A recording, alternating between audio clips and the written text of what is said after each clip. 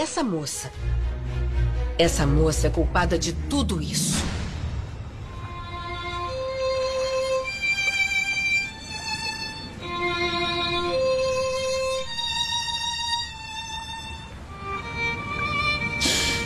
Eu te amarei por toda a minha vida, mesmo que eu não possa te ver.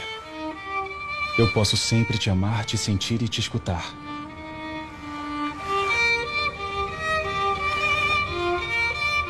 Outra vez.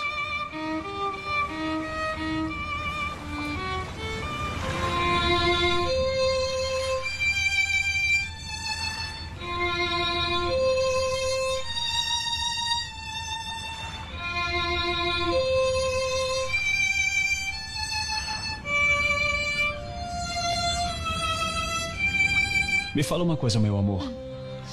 De onde tirou esses peixes que ficaram maravilhosos? Viu só? Eu pesquei, eu cozinhei. Você nunca para de me surpreender, né? Sério. Ai, Ficaram ótimos, eu adorei. também não é pra tanto. É né? sério, eu adorei. Olha, eu já comi quase tudo. O que eu não entendo é porque o meu é tão grande e o seu é tão pequeno. Ai, que. O quê? Como é que eu vou explicar? Ai, que foi? Não, eu tô brincando. É que supostamente homens comem mais. Isso não é verdade.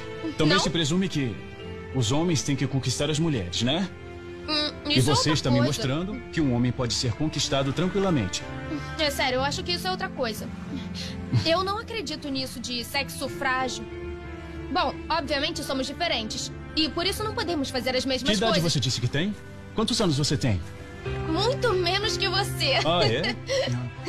Olha, me fala uma coisa. que foi? Queria provar o que com tudo isso? Como assim o que eu queria provar? Disse pra eu te ajudar a comprovar algo. O que era? Bom, que o medo pode ser superado. Quando você tava lá em cima, tava apavorado. Não, não estava apavorado. Ah, não? Não. Jura? Bom, estava só um pouquinho. Um pouquinho assim. Mas você superou. Superei. O que eu queria comprovar é que quando a pessoa se liberta do medo, se deixa levar e escuta um pouquinho o coração, podem acontecer coisas incríveis. Você é incrível.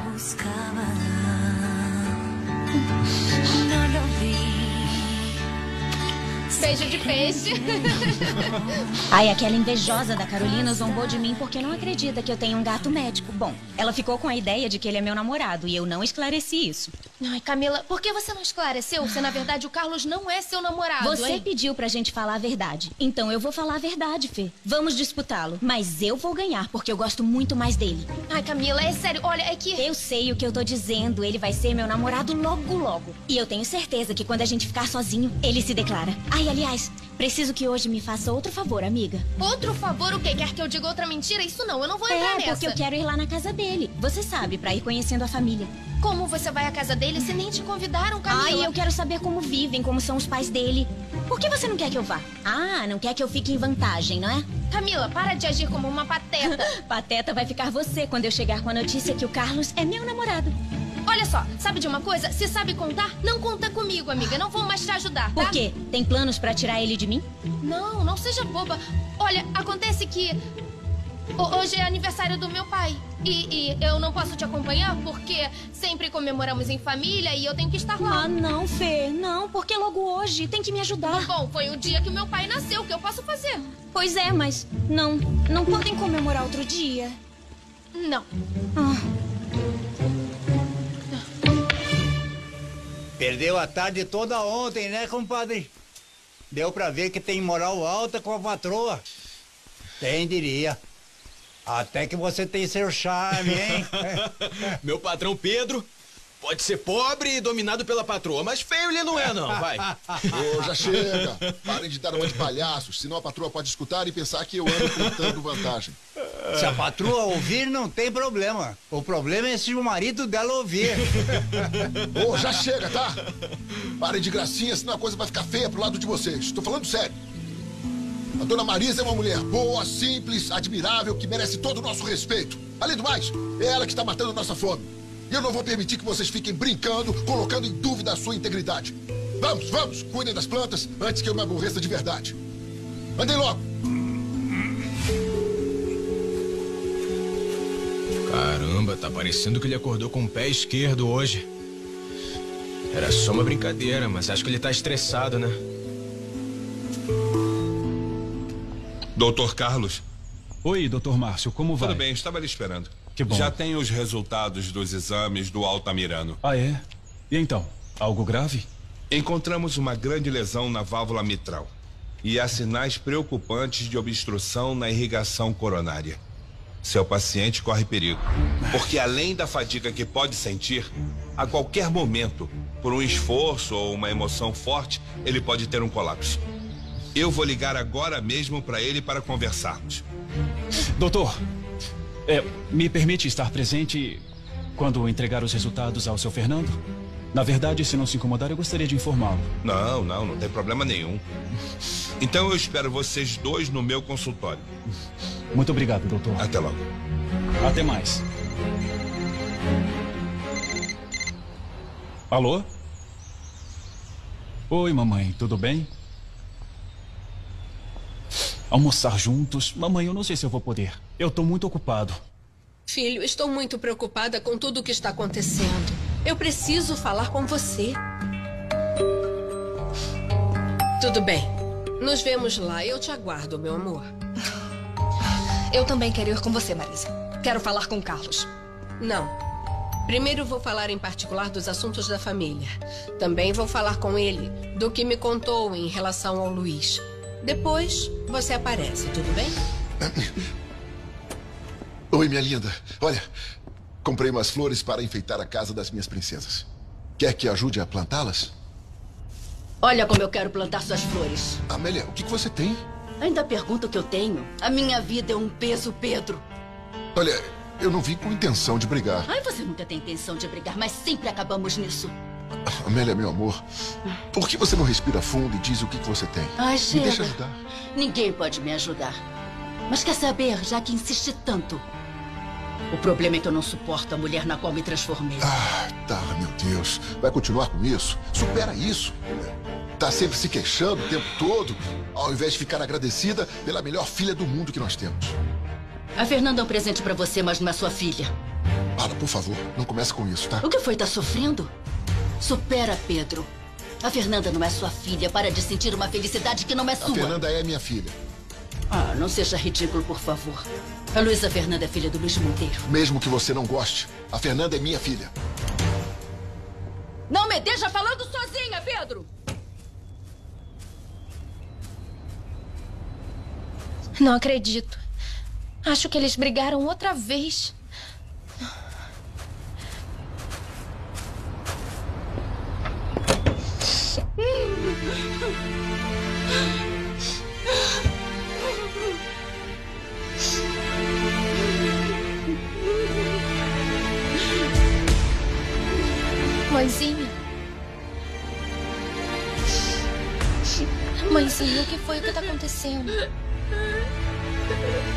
Vai, por favor, me conta, mãezinha, confia em mim. Mãe, toda vez que eu chego, eu te encontro chorando e fico muito preocupada. Por favor, me diz o que aconteceu. Não foi nada, Fernanda. Se você quiser comer alguma coisa, tem recheio que sobrou das tortilhas. Vai fazer um lanche. Mamãe. Você tá com um problema muito grave. Não continua se esquivando. Mãezinha, eu sou sua filha. Te amo e tenho o direito de saber o que tá acontecendo. Por favor, para de ficar escondendo as coisas de mim. Mamãe, me diz a verdade. Seja o que for, eu quero saber. Mãe. Como assim se apaixonou por essa menina? É, Hein? sim. Carlos, você tem noção do que está me dizendo? Sim, mamãe, claro que eu tenho. Claro que sim. Mas você não pode estar falando sério. Meu filho, você mal a conhece. Além do mais, tem um compromisso com a Isabela, que é a sua namorada, ela sim. Oi! Que surpresa! Com tantos lugares nessa cidade, e eu encontrei vocês aqui. Justamente onde vim almoçar. Oi? Carlos?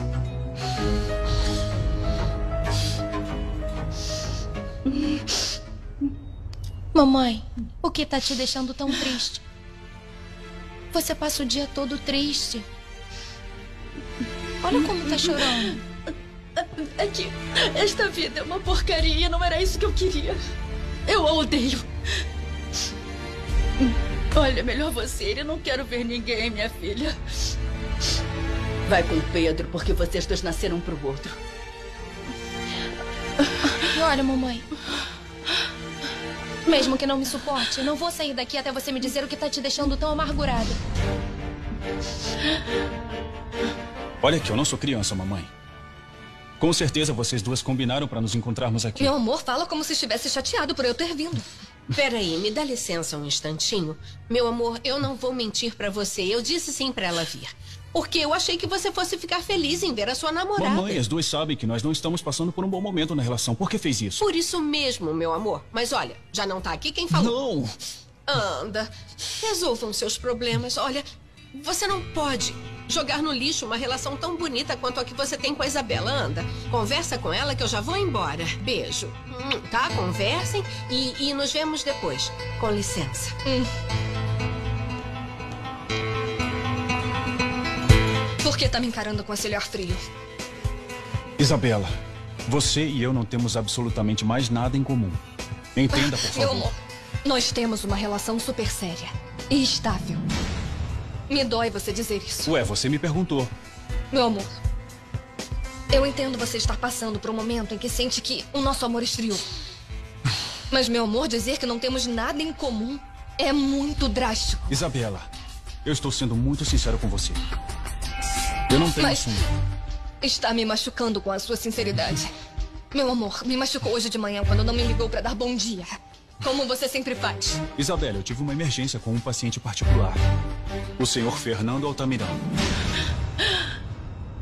Eu nunca falei sobre minha intimidade. Por favor, respeita a minha decisão. Olha, mãe. Eu reconheço que muitas vezes não nos entendemos. Mas se não confiar em mim, em quem vai confiar? Mamãe, me dói te ver assim. Me dói te ver tão triste, chorando. Confia em mim, mamãe. É que você não entenderia. São coisas. coisas de adultos e você é só uma mamãe, menina. eu sou uma mulher. Eu não sou mais uma menininha. Eu cresci e sou sua filha. Mãe, por favor, confie em mim. O que tanto te atormenta? É a. a solidão. Se sente sozinha? Por, por que você se sente sozinha, mãe? Você tem a mim. Tem o papai. E, e nós somos sua família. Nós te adoramos. Estamos aqui com você. Vocês não são a minha única família, Fernanda. A outra. A família de onde eu venho. Sinto tanta saudade. Tanta. A sua avó morreu quando eu era muito pequena. Você ficou órfã quando era pequenininha? Quando eu nasci. Ela morreu no meu parto. Mãezinha, eu sinto muito.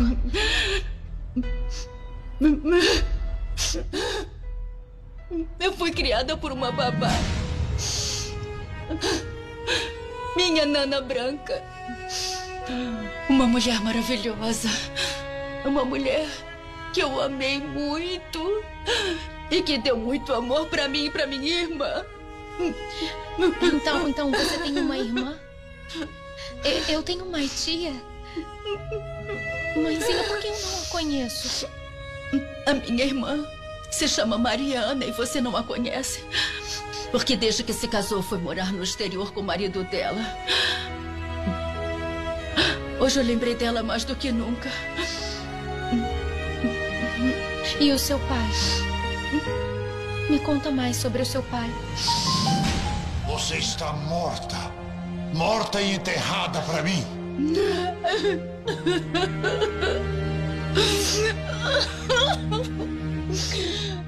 o meu pai. Papai morreu há 19 anos.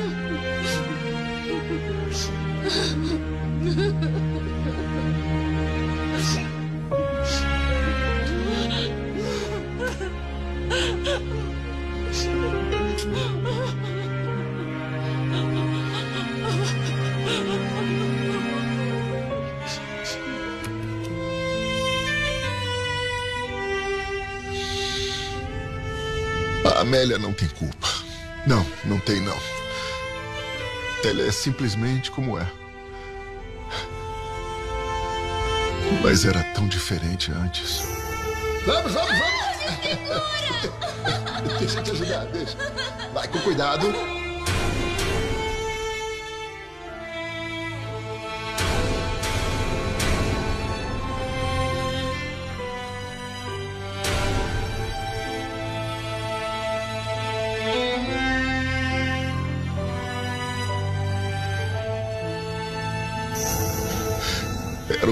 Menina feliz.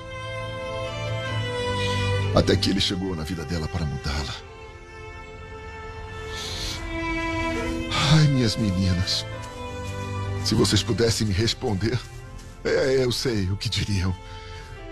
Com certeza minha mulher tinha sonhado com outra vida, não é? Uma vida diferente, uma vida com, com um marido que a enchesse de luxos. Algo muito digno dela. E não com essa miséria a qual eu a tenho submetido.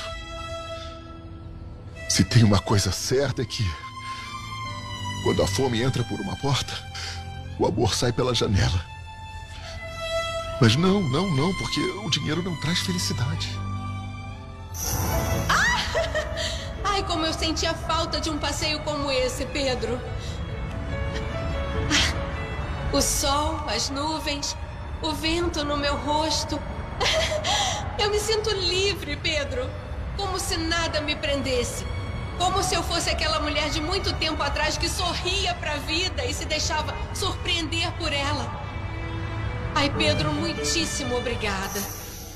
Sabem, eu não conheço o marido da minha patroa, a dona Marisa. Mas o que eu sei é que ela o ama com paixão. Mas anda triste, dá pra notar. Ah, Eu já sei. Já sei o que vamos fazer. Claro! Vocês vão deixá-la feliz. Bom, ainda não a conhecem, não é? Mas querem saber? Ela merece vocês e vocês merecem ela. Ontem à noite eu disse que era melhor a gente terminar. Eu já falei, por favor. Mas por quê? Porque sim, Por que quer me Isabela. trocar pelas suas mentiras? Além de mentir pra mim um monte de vezes, você quer me deixar? Quer me castigar me deixando?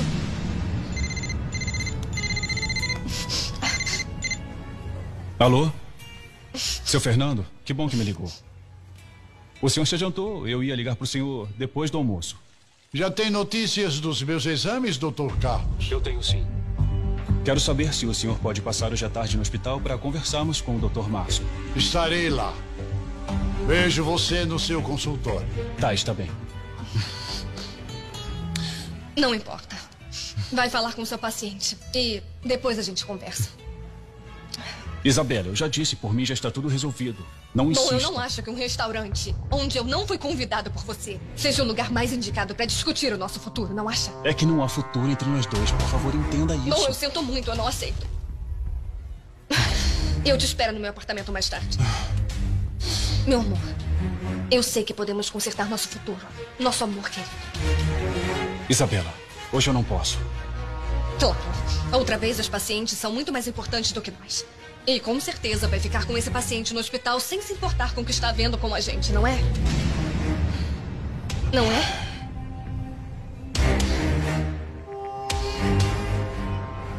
Graças a Deus que você chegou. Onde você esteve metida o dia inteiro, menina? Olha. Hein? Nossa, por que demorou tanto, Mariana? Ai, me perdoa, papai. É que eu saí para dar uma volta e, bom, me distraí vendo lojas, vitrines. O doutor Carlos me ligou. Quer me ver no hospital. Vou pegar meu paletó e você me acompanha. Sim, claro, papai, com certeza. Me diz o que houve. Esteve lá ontem, Mariana. Me diz, você encontrou a Amélia? Não, Nana. Lamentavelmente, a Amélia não está mais no país. Assim que saiu desta casa há 19 anos, ela foi morar em San Antônio, no Texas. Isso é sério? E mais cheios de cor para devolverem um pouquinho de alegria para minha mãe. Eu vou fazer como meu pai. Eu vou dar para vocês muito carinho, vou cuidar de vocês todos, todos, todos os dias. Com amor não precisam se preocupar, tá? e quando nascerem, para mim vai ser uma bênção. Uma alegria. Nossa. Ai, Mas duvido que possa ser mais abençoada e mais feliz que agora, nesse momento. Sabendo que o Carlos me ama. Me ama tanto quanto eu amo ele. Así.